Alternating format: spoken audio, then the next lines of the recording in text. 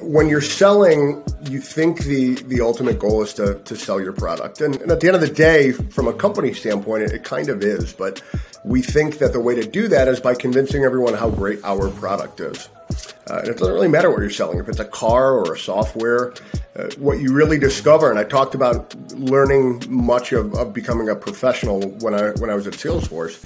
Um, you learn that really the, the way to sell is, is by not selling much at all and for genuinely being curious and asking questions about what people are struggling with. Uh, and ultimately, if you have something that can help them solve that problem or pain point or, or help them reach new levels, then great, we have alignment here. But the only way to know those things is by asking questions and, and being genuinely interested in their answers. I'm Devin Reed. And I'm Sheena Badani. And you're watching Reveal, the revenue intelligence podcast powered by Gong. Keep watching here to see the full interview. Or if you like to listen to podcasts on the go, check out the links in the description below. And if you like what you hear, subscribe on YouTube, Apple Podcasts, or Spotify, or all of them. Why not? And while you're there, make sure to leave us a five star review. We personally read every single one, and I think I speak for both of us when I say they mean the world to us. Could not agree more, Devin. Now, without further ado, here's the episode you've been waiting for. Kevin, my man, thank you for joining us on Reveal. Fantastic to have you here. Great to be here. Thanks for having me. Awesome, awesome. Well, hey, I want to get started on this LinkedIn bio quote that I pulled from you because I did such fantastic research. I started like all salespeople do and went right to your LinkedIn. uh, so here's the quote In business as in life, you don't get what you deserve, you get what you negotiate. What does that quote mean to you? I like it, but I'm curious why mm. you hmm. put it there.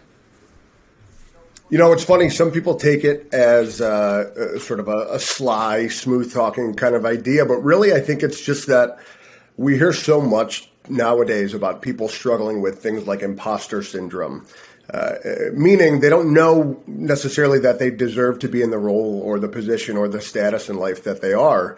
Uh, and I would argue that that's nonsense because, uh, as we well know, you are your fiercest advocate.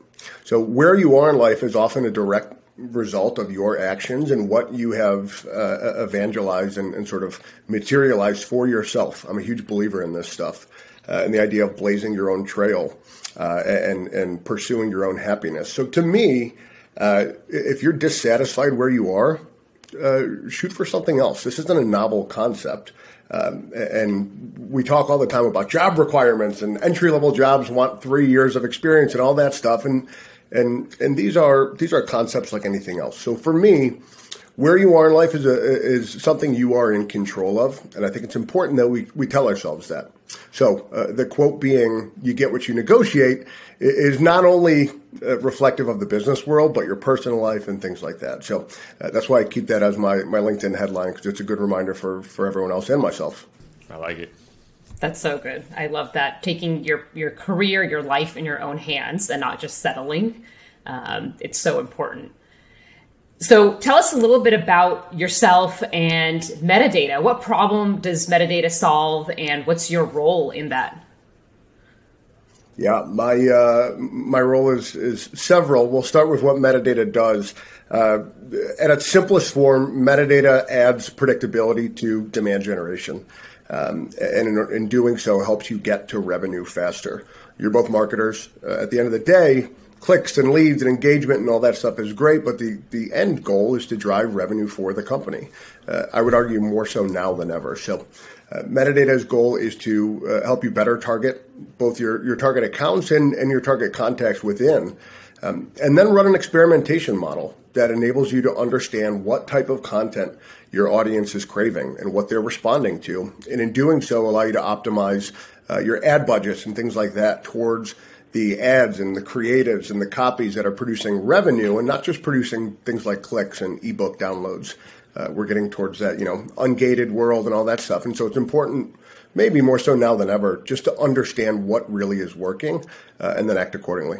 You know, you asked uh, a little bit about me as well. So I covered a lot of the, the typical stops in Chicago software. So uh, I spent some time at Groupon early on, just missed the IPO, so poor planning on my part. Uh, went to Salesforce after that, uh, which is just a, a, wonderful place to be and where I really kind of credit learning how to become like a sales professional and not just a, a salesman, if you will. So um, after that, I spent a little bit of time at a small agency type shop before going to G2.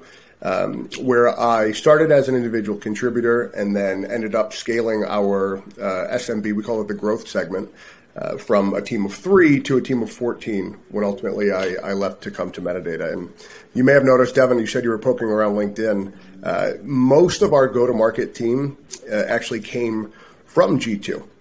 And, and there's a, a, lot of story behind it. Just briefly, uh, I'll share that our marketing team at G2 started using metadata and, and couldn't speak highly enough about it. We realized that this tool could help a lot of our customers at G2 particularly in terms of operationalizing their buyer intent data, which is a, a super popular thing right now. Um, so G2 tried to acquire the company. Uh, they unfortunately turned us down. Well, fortunately for me, because then we all came here uh, and have been growing this place ever since. So that was my trajectory. I've been in just about every sales role you can imagine, and uh, selling things like uh, uh, financial products to to CRM and now to uh, Martech. It's great, uh, really great companies, and that Chicago Tech Hub is really unique. Um, it is really tight knit, and shout out to Sales Assembly too, who's doing like a lot of great work in the Chicago tech space. Yeah, they've gotten to you too, huh? Matt Green is everywhere. He's, yeah, yeah, he sure has. He sure has. Well, Ken, when we met and we were chatting about what we should talk about for the interview, something that jumped up for you is like something you're passionate about is, you know, bringing the customer voice into sales. So I'd love to just start with like, what does that mean to you and why is that so important?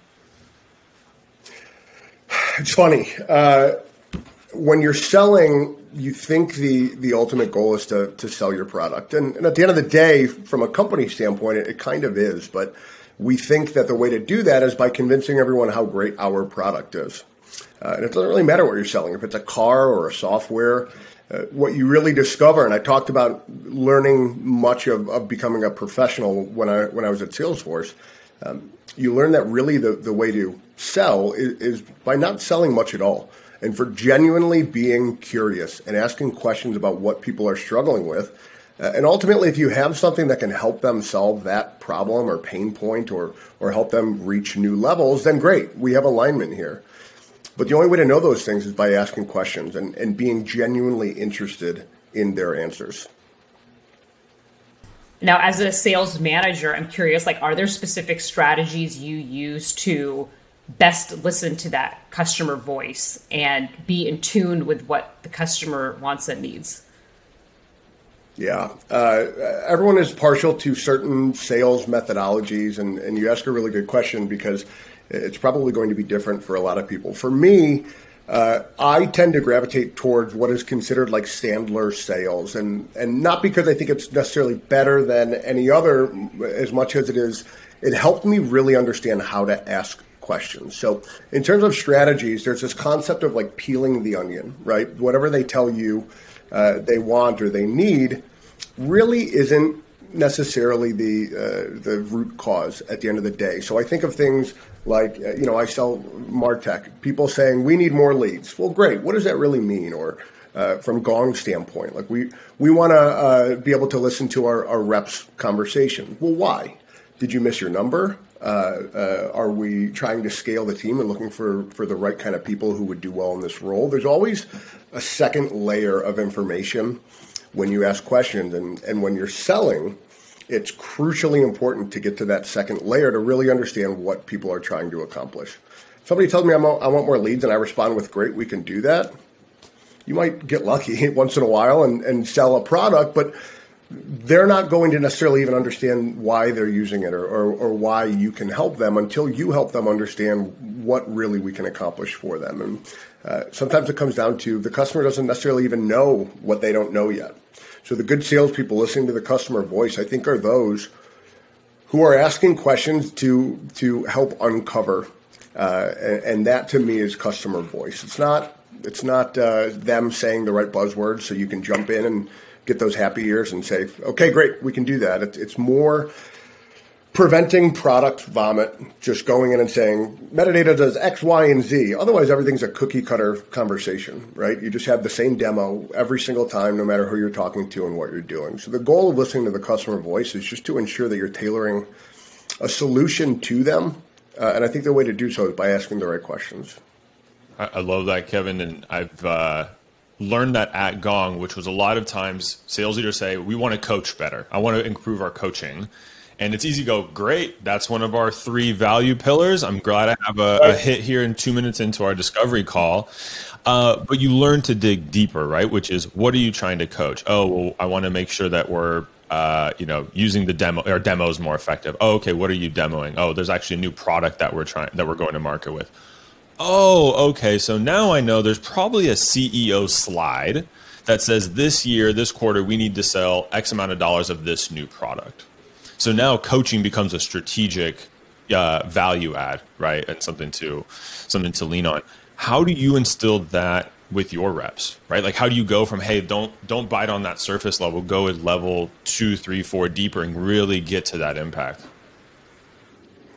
You know, Devin, one of the things that we talked about uh, in an earlier conversation is some of the data that I look to uh, when trying to figure this stuff out. And I, I really had an epiphany one time when I was using Gong as an individual contributor because they track all these really cool stats, and I'm not just trying to plug Gong, uh, although I will if you pay me enough.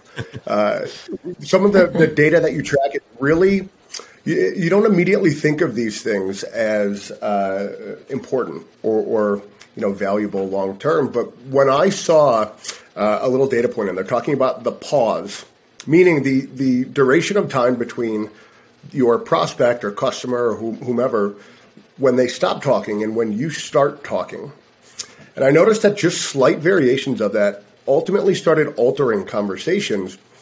Uh, I, I, really started focusing in on this and tracking it on every call. So bringing it back to your question, um, for me, it's to to wait before you jump in because oftentimes these people are still thinking through their own answers, and if they finish their sentence and we rush to start our next sentence, we're missing a lot of valuable information.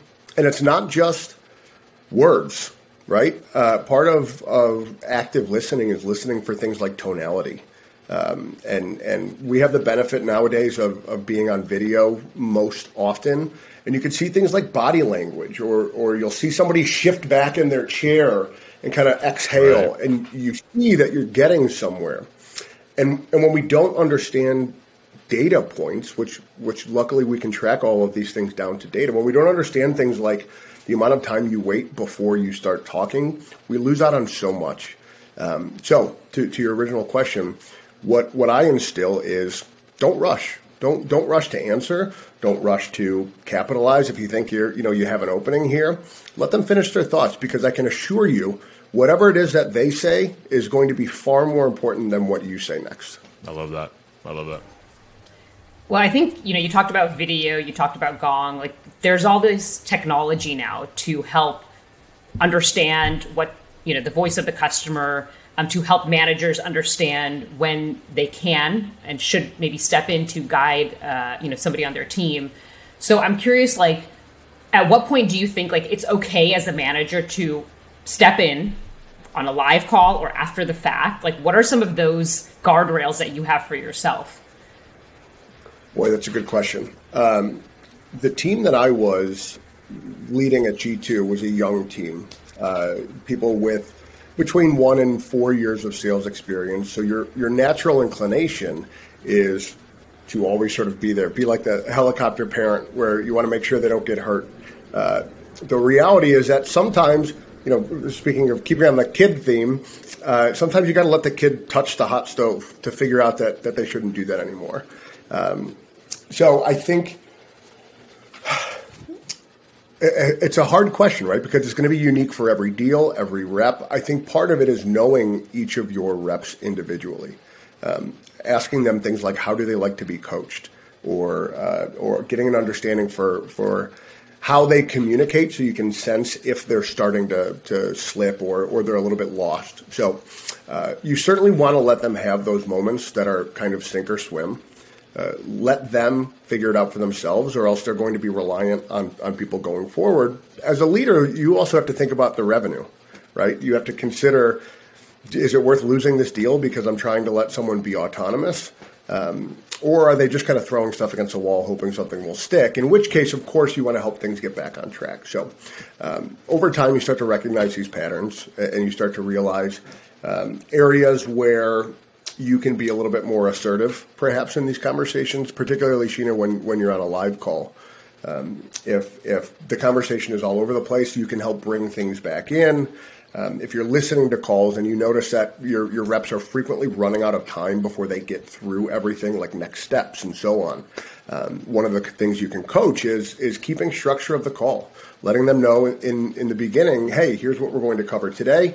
Uh, we'll save X amount of time at the end to to discuss what comes next.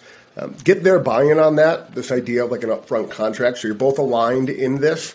Um, and once you master that, the idea of jumping in and, and not should become less significant, but uh, certainly always there. Yeah. Uh, oh, go, go, Sheena. Um, and I was going to say uh, that's definitely a trend that we have that we've heard on this show is the best managers are the ones that take some of that time. They're investing to learn about the people on their team. It's not just about like what works for you as the manager and like how do you want to work, but how does somebody themselves learn and how do they want to be coached so i you know i think taking that time to really understand each the nuances of the folks on your team is something that's going to be so appreciated in the long run uh, by every single person on your team.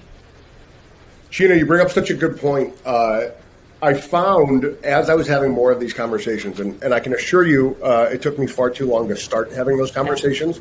I figured hey i've been selling for a long time. You haven't.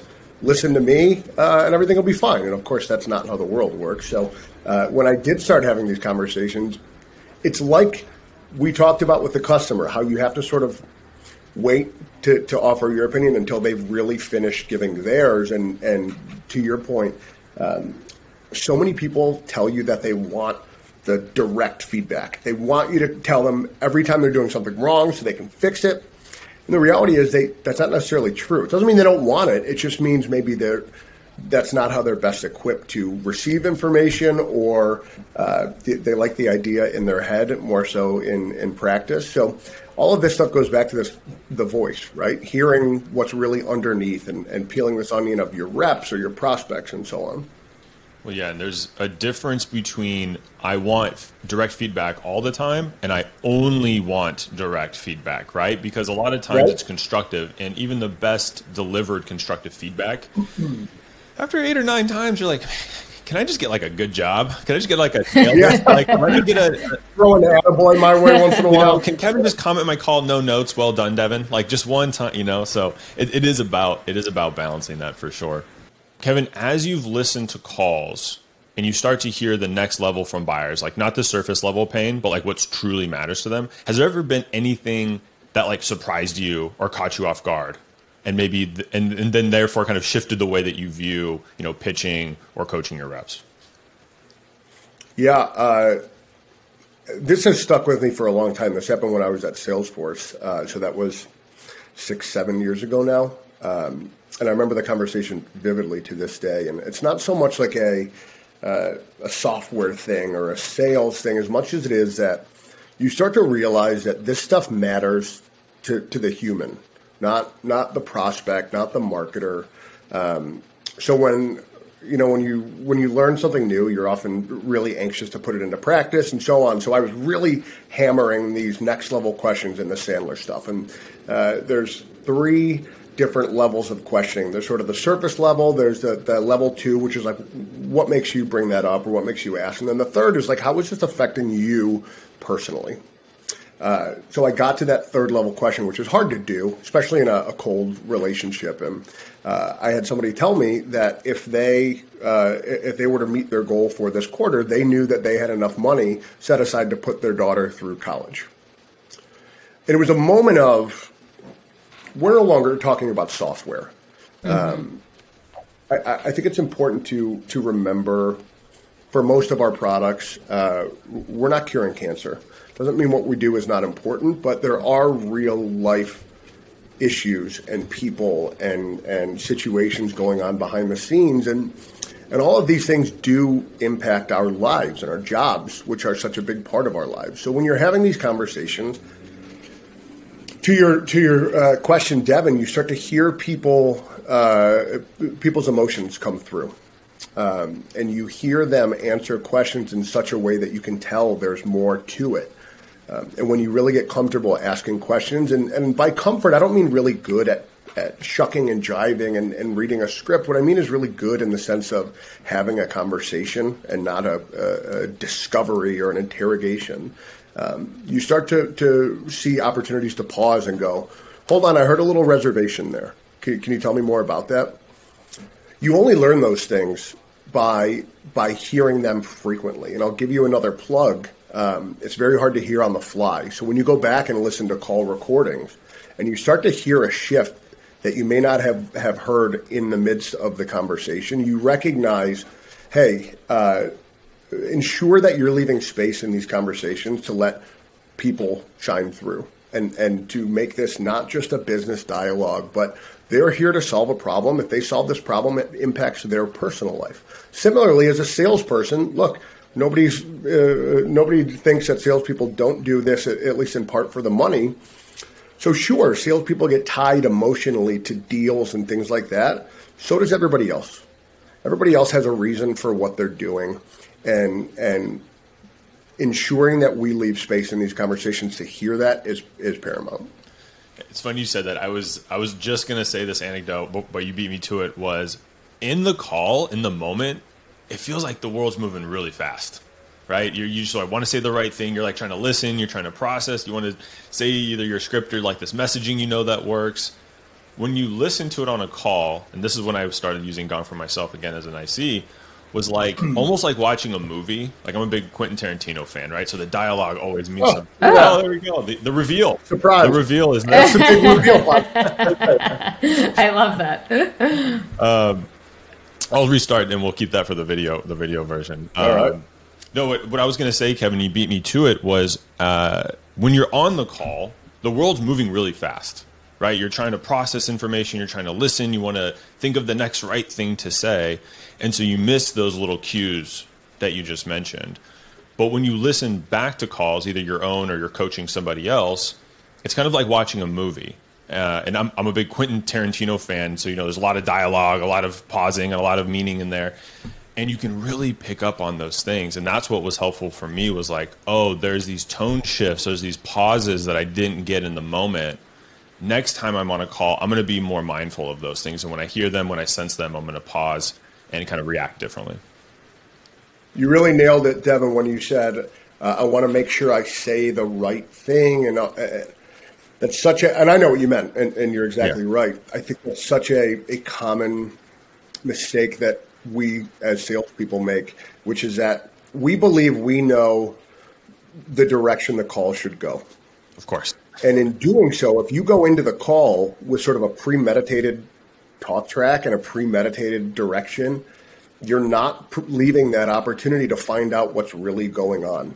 We, we keep, you know, uh, in sales leadership, you keep lists of, of engaging questions that are helpful to ask. And, and oftentimes, particularly new reps will take five or six of those and they are going to hammer those questions on every single call based on the personas and all this stuff. And that prep work is great.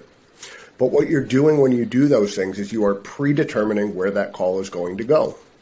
Uh, to to your point about uh, going back and listening to it, if you listen to three, four, five of the calls that you use those questions on, you're going to hear that they go the exact same way. The the goal should be once you identify that, knock it off. Uh, this is 2021. We're not hammering sales scripts anymore and banging out dials. These are human interactions, and there's a reason we keep our videos on now. It's because we're we're, we're getting more interpersonal in our our interactions. So, um, going back and listening to these conversations, first of all, I think it's so understated that it allows you to actually have a conversation like we are right now. If if I was trying to sell you, Devin, which I might after this. Uh, I, I'm, I'm asking you questions and I'm scribbling down notes there's not a chance that I'm going to hear those little nuances and, and tone shifts yeah. and things like that as I'm frantically writing down what I think are the important takeaways here. So something uh, like a Gong enables you to have a human interaction, a human conversation, and then go back and figure out, hey, what are the areas uh, uh, that they're looking for some help in? What are the areas that we can do uh, to to help them towards those goals? Yeah, I called it infinite memory when I'm using Gong. I know I can go back and look at those, look at the recordings, and, and, and search things instead of writing things down. Even though now you are giving me good takeaways, so forgive me for if you see me scribbling on my notepad. yeah. Compliment. So, Kevin, we talked about a couple pitfalls like that folks deal with if they're disconnected from their customer voice. So, you know, not getting to that like deepest personal pain, not being able to connect emotionally, um, you know, too focused on their own script and their own agenda versus what the customer cares about. Like, what else? Is there anything else that we missed? Like, if you are not close to your customer's voice? Well, I think there uh, there comes into to play some predictability, right? Uh, sales is I often equate it to like a high school chemistry class or science class where um, everything has a process a control, and a variable. And in doing so, it enables you to figure out what is is causing change or affecting change and things like that. So, uh, I think one of the pitfalls that salespeople and and even sales leaders have is kind of winging it. And I know that that flies in the face a bit of what I said before about not predetermining where calls are going to go, but writing a script is not what I mean by saying having a defined process. So I think a pitfall is not following at least a structured sales cycle. Uh, an evaluation plan, whatever you want to call it, and that requires mutual buy-in, right? Who cares what I think or how I think this should go? If if that's not how the customer uh, wants to buy or their their company generally makes purchases, so uh, in in running this experimentation that is sales, we have to have that control involved, or else we're never going to know why things are getting off. What is the variable that is making our deals go off track in stage four? We run a great discovery call. We had a wonderful product demo, and then people are going dark. Well, why is this? Well, we only know that if the first and second conversations are generally going similarly. So, Sheena, uh, the pitfall is guessing, right? The, is is trying to wing it when we know we have 100 years of data. Todd Caponi, you brought up sales assembly. Uh, I'm a huge fan of Todd Caponi and the transparency sale, and he always shares sales wisdoms from 100 years ago. They're really cool uh, if you're a nerd for that stuff like me.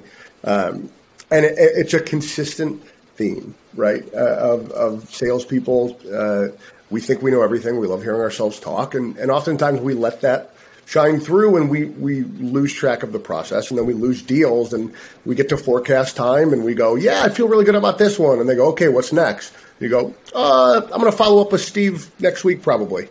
Uh, all right. Well, we've been doing this long enough to know how that generally ends. Getting close to reality. That's what we're all about. All right, Kevin, there's one question that we ask every single guest on Reveal, you would only know it if you've listened to the end of an episode of Reveal because I don't put it in the notes. I don't let you prep for it. Are you ready? I'm ready. All right. How would you describe sales in one word?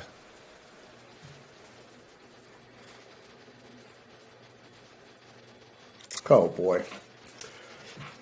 Do I want to give a, a funny answer, a, a, practical answer here? What was the first thing that uh, came yeah. to your mind? I'll let you change it, but I'm now I'm curious what the first thing was. If it was like a funny, clever. I mean, the first thing that the first thing that came into my head was the word persuasion, but I didn't jump out and say it because it has sort of a negative connotation, mm-hmm. right? Sure. Uh, essentially, what we're doing is we're we're transferring beliefs and all those like technical uh, ways of thinking about this, but persuasion is everywhere in life. Sales is everywhere in life. So for me, the word is persuasion, uh, persuading you that my way of doing things is better for you than your way of doing things. Mm-hmm. That's a good answer. I like it. And yeah. I agree that persuasion has a negative connotation, but I don't think that it should. Manipulation is its like ugly cousin. Mm-hmm. If you mm-hmm. persuade people yep. for a bad cause, it's terrible. But if you persuade people for a benefit of their own, if you've uncovered the pain like you've talked about, now I'm persuading you that you want to go towards this desired state. Makes a great salesperson. Especially in high tech, you're you're often educating about a new way of doing things um, right. So you, you have to educate and advocate and persuade on this new this new form, this thing that you truly believe in that they may not be aware of as yet. It's a really good point, Sheena. If you think about literal education, isn't that really a, a, a passing along of oh, beliefs, yeah. a persuasion? Yeah. Um, this information is relevant and uh, and important to you. So yeah, I, I think you nailed it. Well, Kevin, it has been so fun having you on the show. Thanks for joining us today. Um, we Likewise. really, really appreciate it.